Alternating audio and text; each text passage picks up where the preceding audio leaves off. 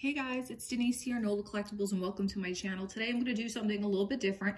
I am going to do a fabulous finds video. So I'm going to share with you some of my recent fabulous finds, whether that be via Shop Goodwill Blue Box or Shop Goodwill Lots or thrift store trips or antique store hauls, whatever it might be. Uh, some of the stuff I haven't shared with you previously, and these are all kind of recent finds within the last couple of months. If you're new here, welcome. My name is Denise Nola Collectibles. I am a part-time reseller. I sell primarily on eBay, and my store name there is also Nola Collectibles. So I'm gonna get right into it because, you know, we don't like looking at blank space, of course. And so the first piece I did want to share with you here was this Victorian bar brooch. And so uh, this Victorian bar brooch was something that I did pull out of a recent thrift store bag. And I, I get these thrift store bags, they're $40. And, um, you know, sometimes I get nothing and sometimes I score really big. And so this, you know, I say that this is Victorian. Um, you may say, where, where are the seed pearls? Or maybe um, it doesn't look as elaborate as some Victorian jewelry the, the, Victorian era spanned 63 years. So this was during the reign of Queen Victoria from 1837 until 1901. And when you think about the context of like the jewelry that came from that era, it had three different kind of categories. You know, there was the high Victorian era, there was the romantic period, and then of course, uh, there was the late Victorian era. So the late Victorian era was definitely one that was more reflective of simpler designs and styles. Whereas, you know, something like the um, Romantic period, reflective of when Queen Victoria and Prince Prince Albert um, were in love with each other and, you know, the, the jewelry was a direct reflection of that. Or High Victorian, you know, we're talking more like mourning jewelry styles or, you know, that black jet and some of those things that you might associate with the era. So this here, you know, this is set in 14 karat gold. It has a, a fairly large Ceylon blue sapphire right in the middle there. And so I, I found this and, you know, I did kind of, you know, to me, it, it very immediately looked like fine jewelry and, and that stone is pretty superior. If you can look at it right there, it's a really beautiful cut on that stone. And so, you know, I did I thought initially that it had to be, to me, this looks like a sapphire. So I, did take out my Presidium and I tested it and it did in fact test as a sapphire. And so, you know, I don't know if you also know this or not, like sapphire, sapphire comes in a range of colors. You can find yellow sapphires, you can find pink sapphires. Ceylon sa sapphire is one that is very much characterized by almost like a purplish hue to it, almost similar to like a tanzanite. And another thing I saw when I looked at this, I looked at the stone under my loupe, I did see that there were feather inclusions in the stone. So similar to a diamond, a sapphire will have feather, could have feather inclusions in it. And so that's quite a sizable stone right there. It's almost like about, I would say about like a four carat stone. And this was just absolutely stunning. It has the C-clasp um, closure on it right there. It is unfortunately missing the pin back on it. So I do, as a follow-up, have to take it to a jeweler and see what I'm gonna do about that. Um, but it is just absolutely a stunning piece of jewelry, a very old piece of jewelry, and just one that I was very, very excited to find. You can see there it has the safety clasp on it too, which is also um, very typical of these of these style of bar brooches where you know you will pin this just as a safety measure so that if you you know if the if the uh, brooch comes undone you won't lose the piece of jewelry so that was very very cool and that was literally um, probably about a month ago or so that I found that piece of jewelry and then from there, you know, I want to cover kind of like a whole bunch of things and I'm going to try to go in era. Um, I'm going to try to go in the, um, in the order of era. So let's move now into a couple pieces I found here. These were really, really beautiful. This one I actually found yesterday and this one I found about a month ago as well. And these two here are just Czech jewelry, Czech jewelry pieces from the Art Nouveau period. And so uh, when we're looking at, you know, the, some of the Victorian motifs versus Art Nouveau, of course, you know all of the typical things you look for in Art Nouveau design, organic, swirling, foliate themes, leaves, nature, those types of things, very typical of what you would find in Art Nouveau stylings. And so this um, also set in brass right here you can see and with the Czech glass and the um, kind of componentry coming out of the Czech Republic they were making uh, glass stones to mimic that of fine jewelry fine fine stone. So I think this is definitely a better example of it. As you can see, it's almost the same color there as that sapphire, and it's a beautiful cut here. And so this one, This one you can see has very predominantly that nature theme. It's got the leaves or the fruit and swirling motif in the back. Also has a C clasp here. You know, the C clasp, when they tell you how to date brooches, uh, you're looking at C clasp from 1890 to about the early 1900s. So that would make it an Art Nouveau specific era there that would be correct to the um, era of what we think it is um, with the C clasp there. And so I have that guy, which I do love, really, really pretty. That came out of a Shop Goodwill lot. I bid on a lot online and it was actually, I think, labeled like costume jewelry or something like that. And that little dude popped out of there. This one came out of my local thrift store bag as well. And so um, with this one, when I say, you know, nature, you can see there's, um, when you look closely at it, there was what looks like fish um, there. So that swirling design, the fish, the koi, the orient, orientalism, also very kind of common design motif um, for Art Nouveau period. I've, I have a, a set of can candelabras, they're pink glass and they have koi at the base of the glass. Um, so yes, very much um, of that era as well. And so very beautiful, put that one right there. So really lovely couple of set of brooches right there. And like I said, I'm gonna try to kind of go in order here of the era of which they came from. And so we're gonna swing on briefly to the United States. Also, out of the bag that that came from, this piece came, popped out as well. And I thought that this was a very interesting piece. I'm like, what is that? it caught my eye. I thought, you know, it looks like, this to me looks, um, you know, when you see those illustrations from the turn of the century. I'm like, is this a legitimate illustration from the turn of the century? And on the back, this is what the back looks like. You can see it's a, a copper kind of tin uh, back right there, and it's hooked onto two pieces, it looks like. On the back, it is it is labeled stamped Whitehead and Hoag, Newark, New Jersey. So Whitehead and Hoag was actually the nation's first button manufacturing company. So super, super interesting. I thought when I looked into this piece a little bit further to kind of learn more, uh, I found it so cool that this was the first button manufacturing company in the United States. And basically they position themselves as like the best advertising medium at the time. um, you know, because you could put anything on a button and they're generally pretty low cost. Uh, so, you know, it was used very much so for advertising medium and their first kind of like large order that they received as a company was from the American Tobacco Company. And so they would make these buttons that you, when you went to go purchase your pack of cigarettes, you would get a button as well. And so this one you can see here, it's depicting, like I said, it does kind of seem like a turn of the century illustration. The handshake is often indicative of fraternal organizations. So you think of Freemasons specifically, or you think of the Order of the Odd Fellows. There's another one that I found that's from the Order of the Odd Fellows, and instead of a handshake, it's a fist bump, which I thought was hysterical. to think that the Order of the Odd Fellows maybe introduced the fist bump into society just made me laugh. Um, but anyway, yeah, this is um, manufactured onto copper, and then it does have celluloid. This white kind of stuff right here is celluloid. And so um, we're looking at probably like 1892 or so on that one and we're looking probably like at a value of uh, 55 to 75. So this one, just because it is a, a little bit more on the larger side and it depicts kind of a little bit of a different type of manufacturing for, I mean, manufacturing, a different type of advertising for a fraternal organization um, puts the value on this one a little bit higher. But you will see like regular commercial buttons by this company, um, Whitehead and Hoag, and they will go for, you know, less money. But they are collectible. People are very into them. It's definitely a piece of Americana a piece of our country's history. And, you know, once they kind of introduced the button, like I said, it, it exploded and soon there were button manufacturers all over the country. And of course, um, specifically during pres presidential campaigns, they became very, very popular. Oh, I did want to go back really quick to kind of some of these Czech pieces in, in the brass. Um, another example of that is this bracelet that I have on here. And you can kind of see this one is more kind of straddling the line of Art Nouveau and Art Deco. And you can see why. And while it still has some of the foliate themes of leaves and whatnot, the lines are a little bit more angular.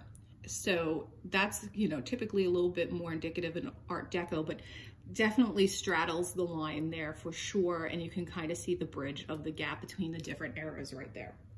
And so, um, really quick, this one was a really pretty one. I'm gonna fit this guy in really, really quickly as well. This is another good example of uh, a Czech piece of jewelry, Czech manufactured jewelry. And then, and the timing we're looking at on this one is the 1920s. So uh, really beautiful piece of jewelry. I honestly, I can't remember. No, this did come out of a, a local thrift store bag. It was very dirty. I went in and I, I cleaned the rhinestone, the glass up. Um, and I tend to do that. When I do that, it's very sparkly now. When I found it, it was very, very dull. Um, but I use alcohol because alcohol will uh, quickly dry. So with any kind of piece of old jewelry, especially if it's set into metal, you don't want to expose it to water. The water water is the enemy of these old pieces of jewelry. So I will use alcohol, usually on a Q-tip. I'll just go in and clean the stones. And I think it cleaned up really, really beautifully. And as you can see here, we do have like a little bit of an open back setting on some of these guys, which really lets the light in. Really, really beautiful on this one. I love this piece of jewelry here and similar kind of styles like this tend to go for about $165. So I'd say like 125 to 165, really just gorgeous. And again, you can see there's that continuation in Czech manufacturing of making glass and rhinestones that look like real gemstones, and in this case, amethyst. So really, really pretty. I think that that's very, very fabulous as well. And of course, you know, this is one of my favorite eras. I love Art Nouveau. I love Art Deco. I think a lot of people share that passion as well for those styles of jewelry. So it's, it's no surprise here that I'm showing you these pieces. So what is, I do think is surprising as we're kind of talking about some of these different eras of jewelry, we can come right into Bakelite. And so I recently um, got a lot from Shop Goodwill there, it wasn't a vintage lot. I, again, I want to say it was just kind of a, a mixed jewelry lot. I'm going to push some of these guys aside, but I still would like to see them. Let's keep them in view if we can. All these pretties. Um, it was just labeled as a mixed costume jewelry and clearly someone donated their, someone had donated their Bakelite collection, which to me is just so sad. Like, how can someone donate this collection? But I mean, sad, but good, because guess what? They ended up in the right home. and all of this was in the same lot. And so we have some here, which I just think is so stunning. This really beautiful kind of deeply carved um, spinach bakelite piece here.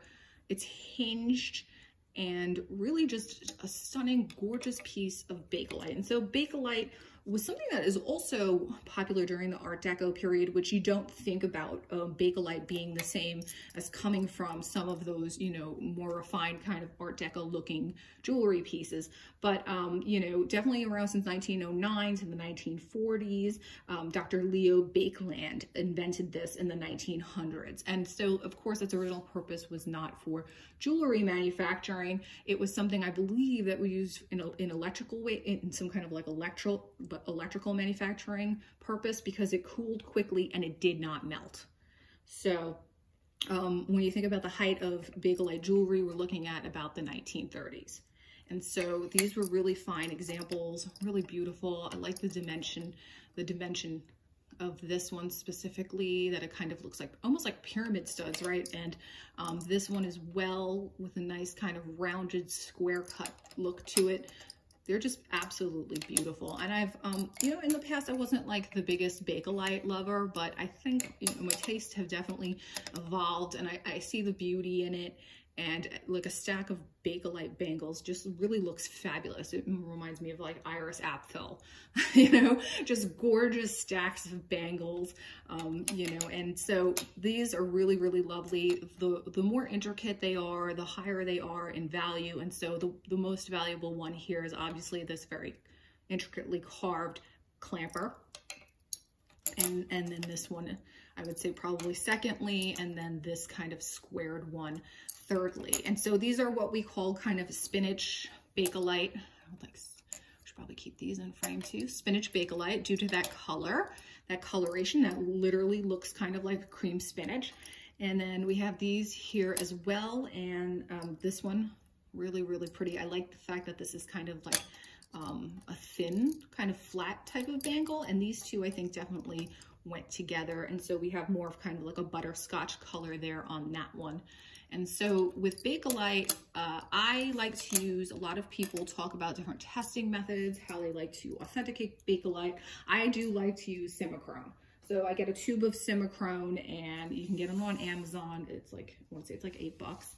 And um, it's super easy. You just put it on a Q-tip and you just, I rub it on the inside of the bangle bracelet in an inconspicuous spot and it will turn kind of a, a yellow, a yellow orange and it's reacting to the chemical compounds in the Bakelite. So very easy to test. I've heard 409 formula works as well. I cannot personally attest to that. I have not tried that, but I, I heard it well. I have heard conflicting things that they changed the formula and it's no longer a good way to test.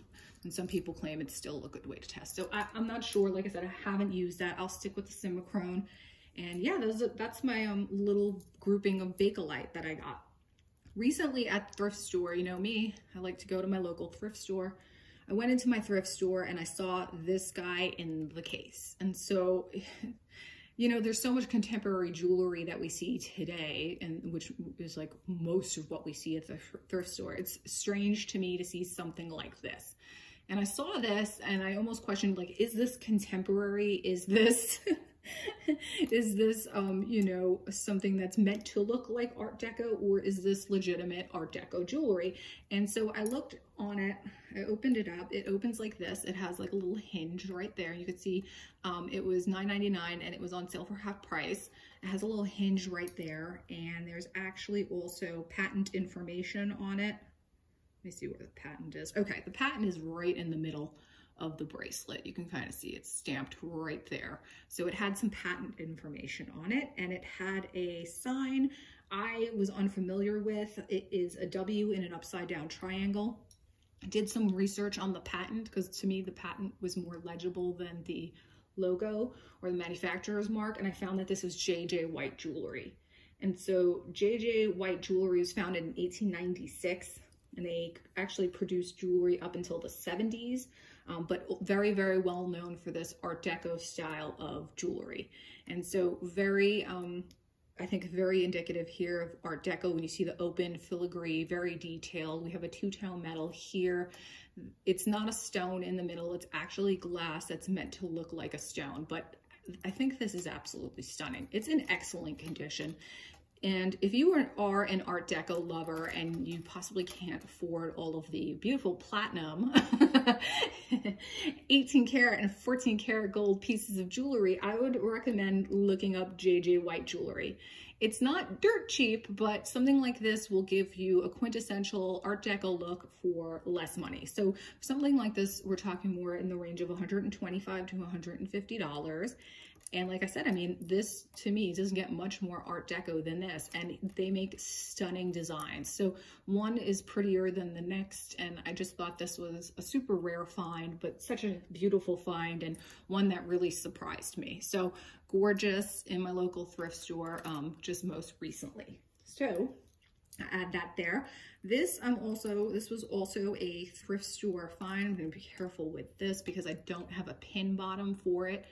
And you can see here, this one was marked at $3.99. And so this to me, I grabbed it because it looked, it just looks very old. And you can see here, it does, it, it looks like it may have the beginnings of verdigris. I, I may have to clean it um, or see what's going on there. But even so, this is just, like I said, it looked very old to me.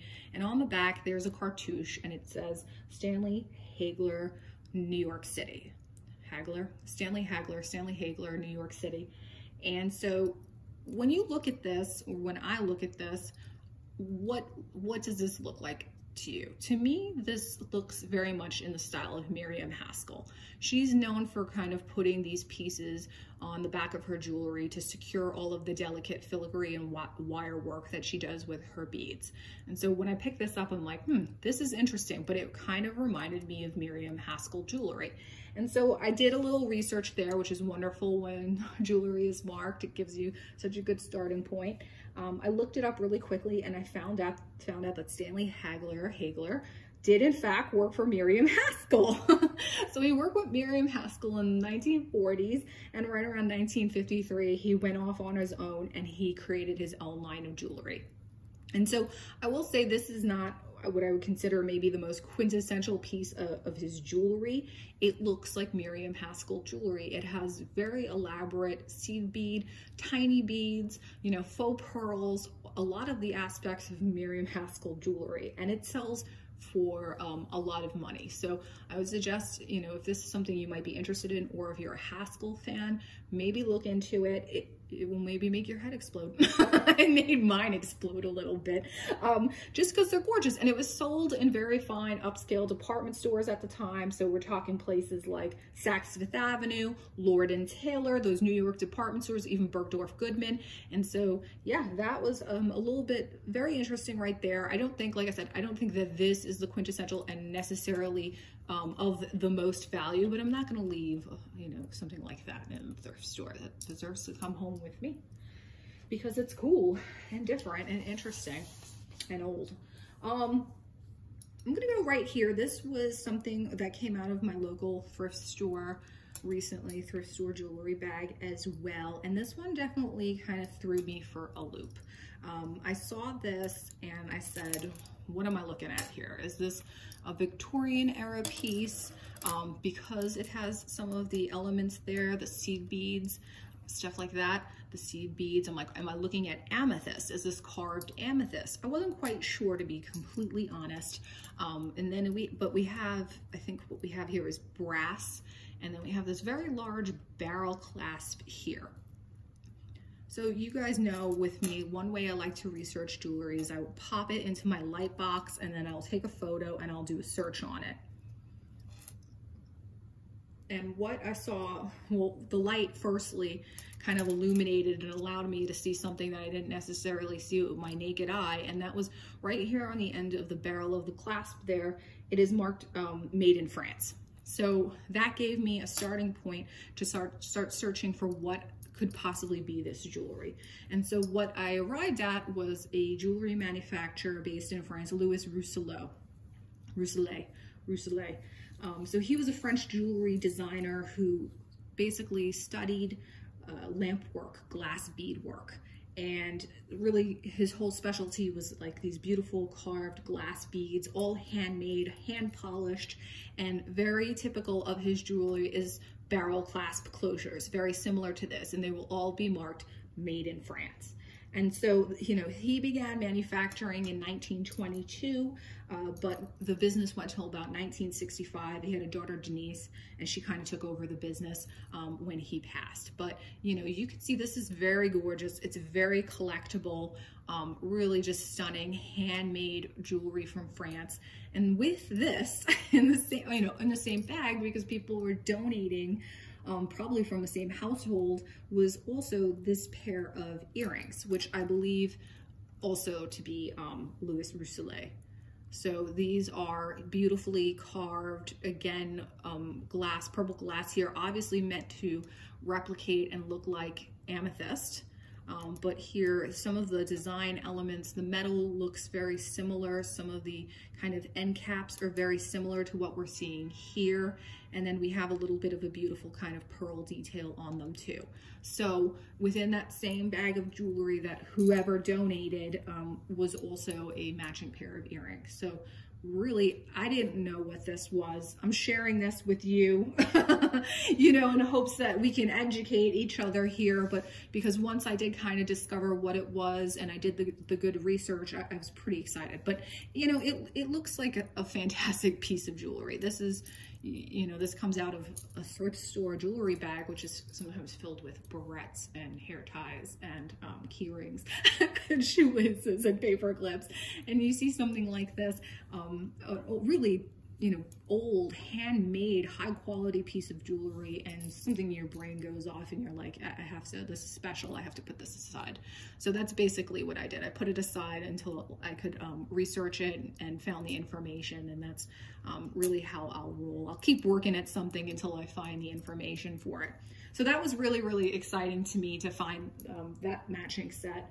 Um, from a new to me kind of manufact jewelry manufacturer that's very collectible. So super cool on that one. Uh, this one you guys saw recently in one of my videos, and this is um, an Elsa Schiaparelli bracelet. And Elsa Schiaparelli, you know, she was a couture designer and she was born in Rome, Italy. She was and I said this previously, she's very known for kind of like hanging around with that surrealist scene, Salvador Dali. um, she was very um, inspired by the surrealist at the time, you know, when people were coming out little black dresses, very refined, chic silhouettes, she introduced the shocking pink dress. And this was 100% a moment in fashion. And so, you know, and it was a kind of a blend between a magenta and a fuchsia. So you can just imagine, given the time frame, you know, the uh, 1940s, what kind of impact that might have made in, in the fashion industry. Anyway, from clothing manufacturing and her maison, she went to, to jewelry manufacture right around 1949. And Elsa Schiaparelli, Elsa Schiaparelli, she moved from France, from her maison in France to New York City. And that's kind of really when she started the manufacture of costume jewelry. She ended up licensing her name to someone who manufactured on her behalf, but of course maintained kind of creative uh, license over everything and the designs and, and what she wanted to be made. She incorporated that shocking pink color into a lot of her jewelry as well. Also very indicative, um, she, you know, she had faux tourmalines, she had lava rocks, she had huge, big, chunky stones, very similar to this. So this really is um, very much a signature Schiaparelli bracelet right here. And so I was very excited to find this. This one came out of a thrift store jewelry bag. I can't remember, it was a huge lot. I wanna say it was like one of those 16 pound lots.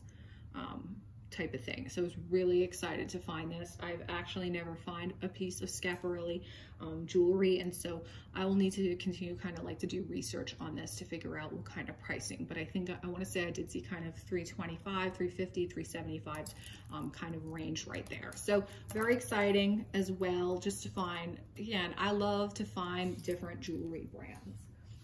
And so you guys know it would not, I would not be, it would not be me if I didn't get into the Native American jewelry as well. I do love Native American jewelry and I think I had mentioned this previously. I have been doing a little bit of sourcing at a Buffalo Exchange. And so I don't know if you're familiar with Buffalo Exchange. Um, it's basically like a, it's like a store for like kind of college age kids and early 20 somethings to go and thrift clothing. so I always go in there and I feel like the, I'm always like the oldest person there. but it's good for me because I'm like, these kids are not looking for what I'm looking and they have amazing jewelry for very good prices. So I found recently this piece of, um, this piece of jewelry right here. You can see it's this giant kind of onyx cuff sterling silver and I took a, I took a look at it and it is a piece of signed jewelry and you can see right there it says Peterson Johnson Navajo sterling Peterson Johnson was um, definitely known. He was a self-taught Navajo sterling silversmith and he was create started creating jewelry in the late 1970s so 1976 and then continued creating jewelry there. And so what um, what is typical of more Navajo when you're thinking about Native Native American jewelry and you're comparing say Zuni style jewelry to Navajo Navajo is definitely known for being bold and chunky. So like those bigger chunkier turquoise pieces or like you see right here this one with this large onyx stone